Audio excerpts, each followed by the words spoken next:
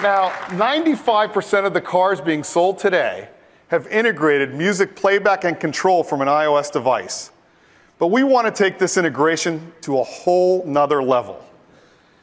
What if you could get iOS on the screen that is built into your car so that you can make phone calls, play music, go to maps, get your iMessages right on the screen in your car, or eyes free using Siri.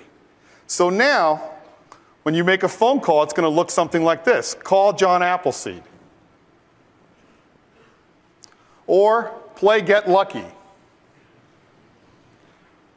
Or go to Maps, get directions, or even get your iMessages read to you and you can dictate a response all eyes free.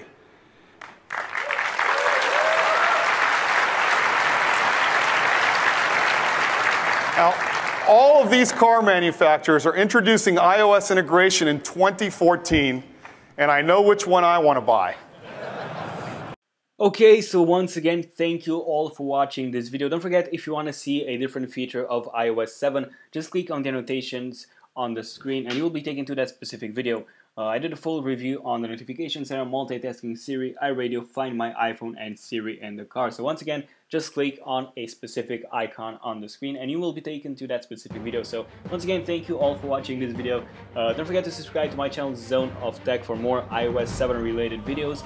Uh, give me a like if you enjoyed this video because it helps me out a lot and also check out my other videos of the series other iOS 7 review videos such as the iOS 7 apps review uh, iOS 7 full review which is my main video of the series and iOS 7 features review don't forget all of these videos are um, all of them are interactive videos meaning that you will be able to click on specific apps in those videos uh, which will take you to that specific video. So once again, thank you all for watching. I have a question for you before you go, uh, which is have you installed iOS 7 on your iOS device? Because in my case, that's uh, definitely yes.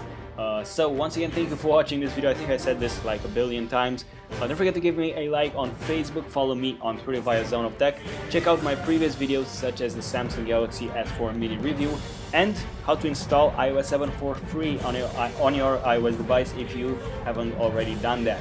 Uh, so once again, I think this is the 50th time I'm saying this. Uh, thank you all for watching this video. Uh, I'll see you in the next one and until then, until then, you know, like as always, cheers.